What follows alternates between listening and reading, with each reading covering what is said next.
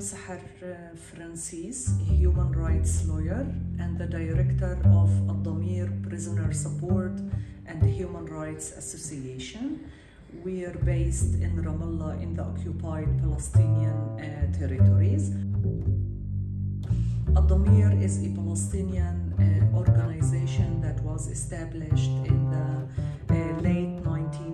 1991 in the first Intifada in order to defend Palestinian political prisoners arrested by the Israeli occupation.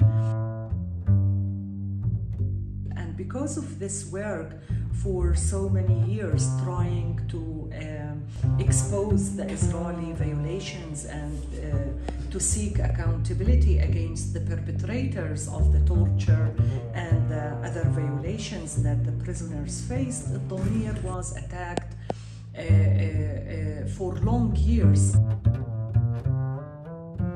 first by Israeli uh, right-wing organizations that they were dismantling, uh, distributing false information about Damir and drafting reports in order to undermine the work of Damir by pressuring the donors and other entities. And not just Damir, lots of uh, other Palestinian civil society organizations were attacked by these uh, right wing groups.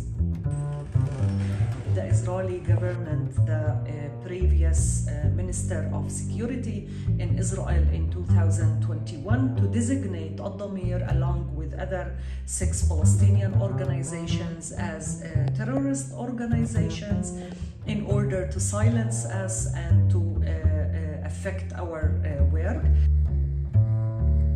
That now, after the genocidal war, we face more attack against the Palestinian organizations or even international organizations and the solidarity movement. This is goes along with all the efforts by not just Israel as an occupying uh, power, but also with uh, other countries that they are trying to criminalize and uh, intimidate the solidarity with the Palestinian people.